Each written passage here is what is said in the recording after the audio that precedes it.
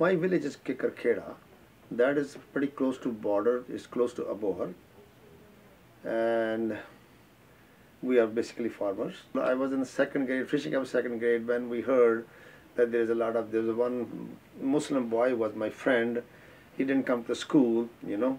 So there was kind of atmosphere of uh, uh, fear, scare, and uh, apprehension, not knowing what is going to happen. Um, that's a little bit I know. This I'm not not completely, but I definitely know about my friend. You know, about we were together in the same class. You know, and he never showed up. And where did he go? We don't know. I more remember more vividly in 1950. At that time, I, I was in fifth or sixth grade. I was more cautious. That we heard that our area is going to go to Pakistan because we were only maybe 15 miles from the border or so.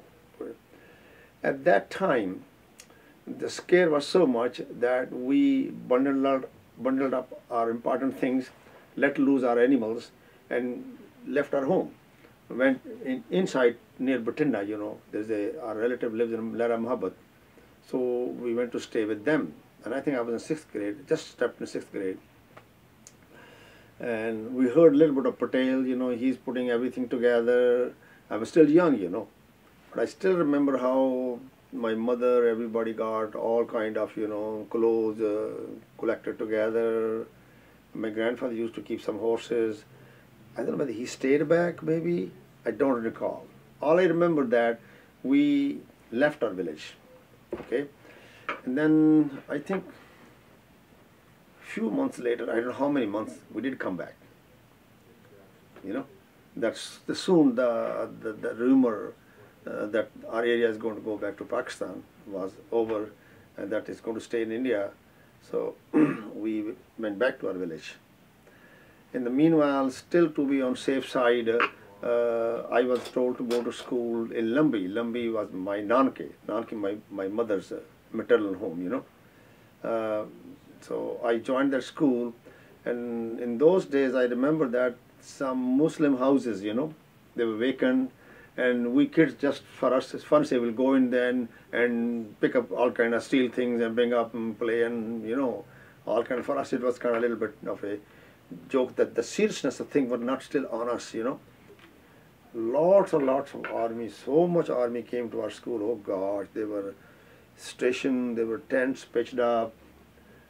Oh next, next to our school was army after army what about today no, not that much there. I remember, in you know, from my village, the school was five miles away. We used to go to, you know, and we used to take our little um, food, you know, rotis. But then we used to eat, buy, a little, you know, small little uh, uh, kind of uh, channel water, you know, which used to supply the water. We sit there, and all over the army. The army officers will come us, and they they share their food. They say, "Oh, come on, kids, take this one, take their food," and we used to like them, you know. And we used to ask them, why are you here? I say, we are here to defend the country, this and that, all kind of tanks, you know, so we got used to them. That gave us good confidence anyway, that fine, you know, we are okay, we are safe.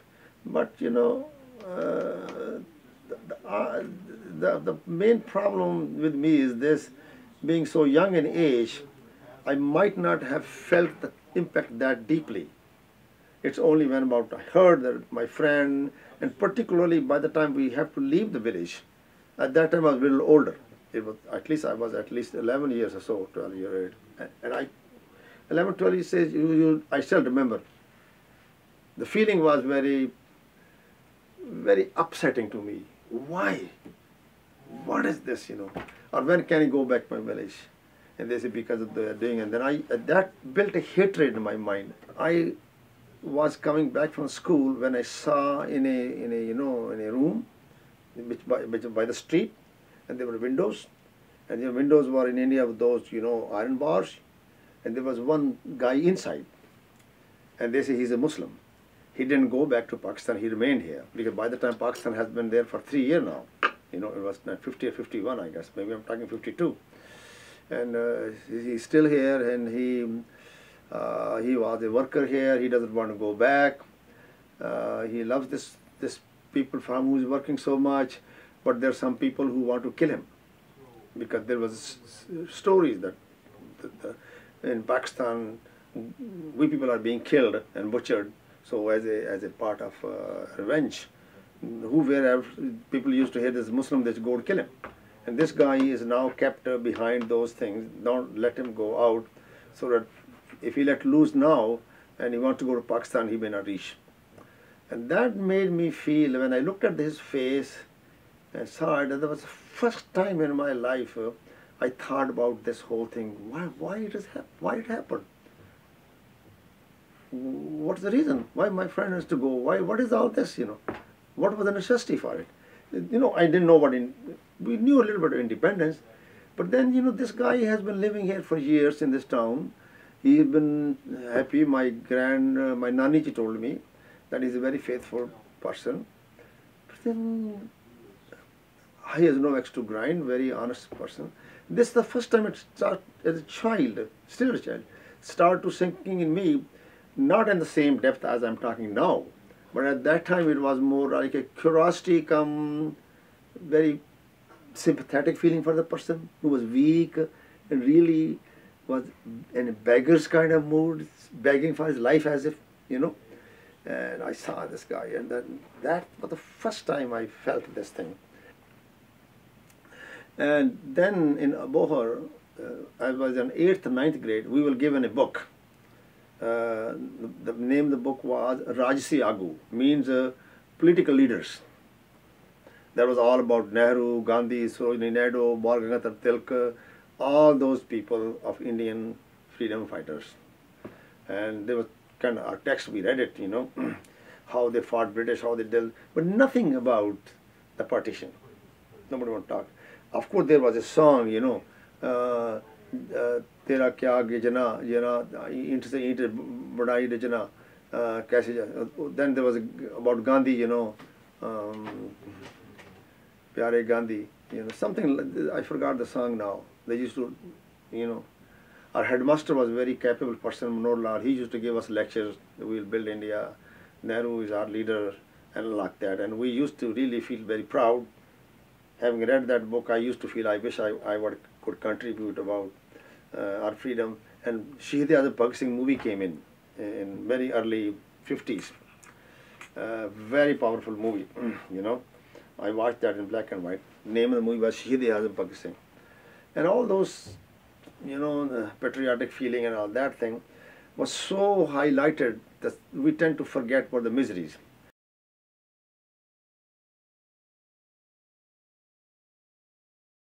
I did try to go and find many things in my own. I visited the Museum of India, the India Gate. I saw all the names written on it, and I saw that thing. And that time it bothered me like anything. Crores of people in India, a handful of them are controlling you. And then I read all saw a movie Jhansi Ki Rani and all this thing, how fragmented we Indians were. India was never, in, in the sense, uh, a country, and that's what many people say. That's British legacy. To my mind, if someone has to reflect upon 1947 in terms of the family, you know, difficulty, in terms of family disruption, as a family, as a unit, yes, there were many, you know. We didn't suffer at all much, you know, as compared with those who really were tortured and butchered and everything in that scheme. That's family level. But in terms of uh, a larger level, of a community, of a country, and that thing, they suffered a lot. They suffered a lot.